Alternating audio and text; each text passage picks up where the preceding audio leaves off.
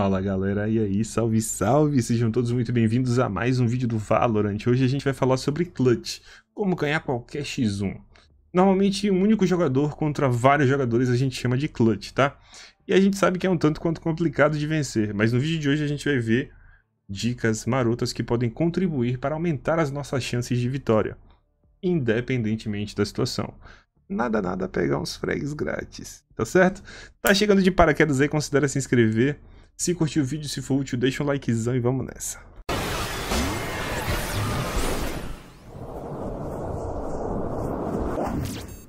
Dica número 1. Um.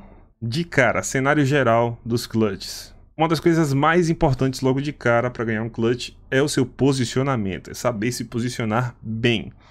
Os caminhos e atalhos que você tem e pode percorrer, saber se o seu oponente tem informação sua ou não, e saber de que maneira a gente pode usar isso aí ao nosso favor.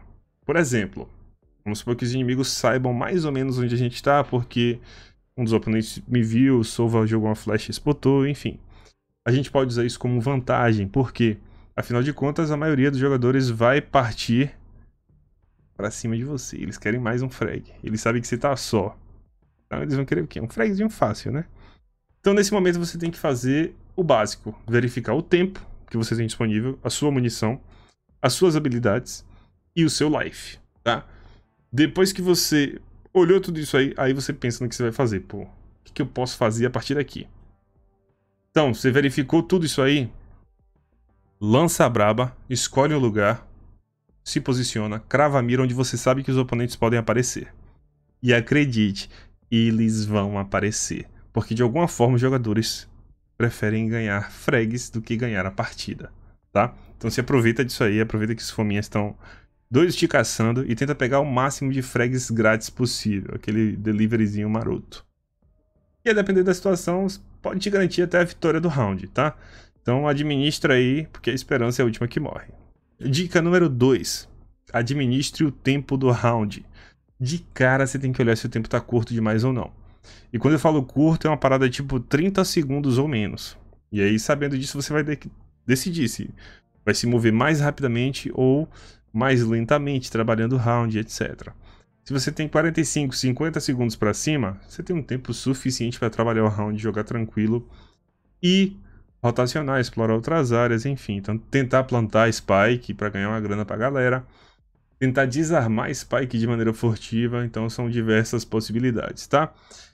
Se você decidir rotacionar, você tem que fazer isso de maneira rápida e inteligente. Você não pode demorar. Então você tem que saber quando você vai correr com a faca na mão, quando você vai estar com uma arma, onde o cara pode aparecer, onde o cara pode te escutar, e daí vai. Porque vai ter gente à espreita, vai ter gente esperando você. Fora que, se você vê que está dando ruim, você pode fazer uma falsa rotação. Então fica aí ciente das paradas. Dica número 3: isolar ângulos. Isso é extremamente importante em qualquer momento da partida, não só em clutches, mas dentro de um clutch é ainda mais importante. Então, isolar um determinado ângulo é garantir que você não vai estar exposto para vários lugares ao mesmo tempo. E vai te dar a segurança de olhar para aquele lugar que você está tentando defender ou atacar, sem entrar em confronto inesperado com outro cara que veio na sua lateral, nas suas costas, tá? Tudo que você quer num clutch é que os seus oponentes apareçam um de cada vez. Então não adianta os caras te cercarem. Isso não é inteligente, não é bacana. E aparecendo um de cada vez fica mais fácil de lidar com eles. Né? Como eu falei antes, alguns preferem rushar para poder pegar um frag do que ganhar a partida. E vou deixar um exemplo disso aí a seguir. Último jogador vivo.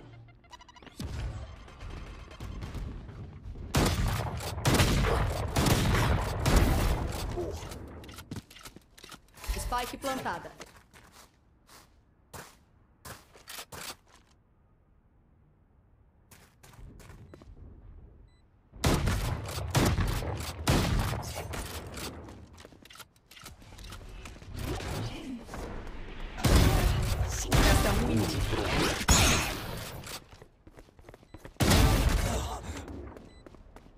Vocês viram aí, né? De um por um fica muito mais fácil de lidar com eles. Né? E isso pode ser uma virada de um round, pode ser um round que parecia perdido, ser um round ganho, por aí vai.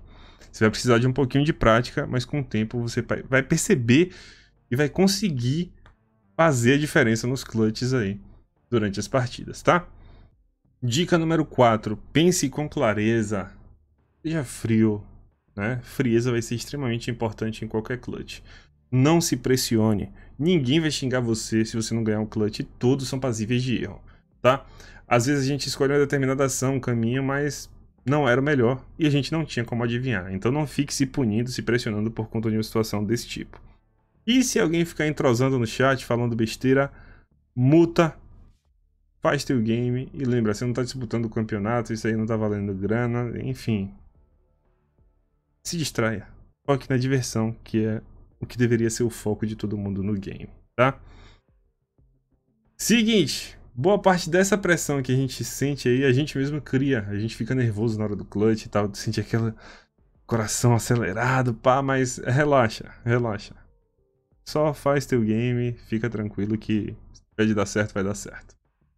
Quinta dica está relacionada a essa aí. Não pensa demais, não seja indeciso. Isso é uma parada que eu falo muito com o Cachico. O Cachico fala muito comigo também quando a gente está jogando com a galera aleatória e a gente observa. E é extremamente importante você não pensar demais, porque a indecisão acaba te matando, tá? Se você quer fazer uma coisa, é melhor você fazer do que você ficar parado pensando em fazer. Sempre que você está parado pensando em fazer, o cara já entrou e já te matou. Existem muitas variáveis, são infinitas combinações de caminhos, mapas, habilidades, enfim. Então foca nas variáveis que você pode controlar. Quais são elas, Shuru? Posicionamento, life, equipamento. E tenta executar aquilo que você pensou. Se der certo, ótimo. Se não der, paciência. Você fez o seu melhor e tentou ajudar o time. Não precisa pensar no que seus companheiros de equipe vão falar, ou... enfim. Faz aquele, aquele mutezinho maroto e fé. Faz teu jogo. Dica número 6, agressivar. É um tanto quanto complicado a gente decidir se vai agressivar ou não e quando fazer isso. Vai depender do que? Da spec ter sido plantada, do lado que você tá, se você tá atacando ou defendendo. Então vamos imaginar que a spike tá plantada e você tá atacando. O ideal é você se posicionar bem, esperar os caras aparecerem, né? Eles precisam de informação de onde você tá para poder desarmar tranquilo. Então você pode ficar ali esperando o clique. A hora do confronto vai chegar, vai ter seu momento. E enquanto isso não chega, tira a sua cara e fica esperando, tá? E se você estiver no meio da bagaceira, aí você vai ter que decidir, meu amigo. Você vai ter que decidir se você avança, se você retorna ou se você espera. Mas esperar às vezes vai te matar, tá? Então fica ligado aí, dependendo da situação. Agressivar nem sempre vai ser a melhor opção, tá? Principalmente se a galera já rotacionou e tá a sua espreita aí.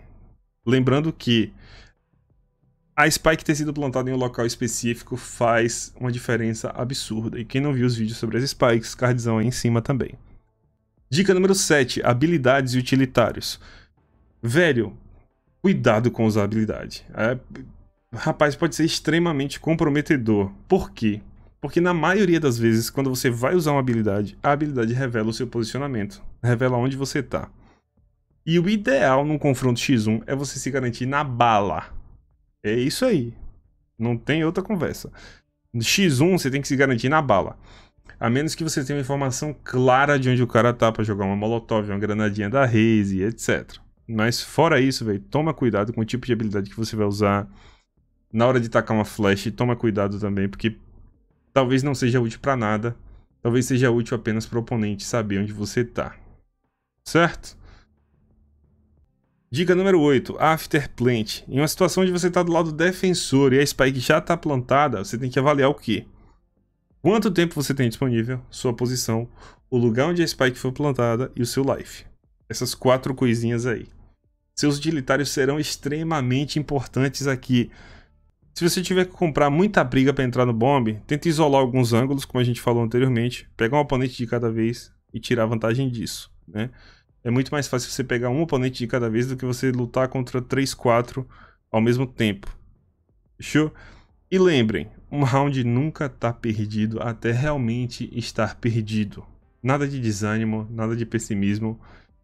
Recentemente em live a gente virou uma partida que a gente tava perdendo de 11 a 2, a gente ganhou aí de 13 a 11, tá? Então nada é impossível.